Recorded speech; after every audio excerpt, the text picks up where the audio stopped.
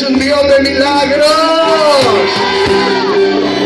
Lo que aquí está la parte,